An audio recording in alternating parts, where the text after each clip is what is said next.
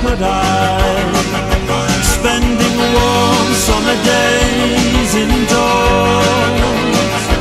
Writing frightening birds To a buck-toothed girl in Luxembourg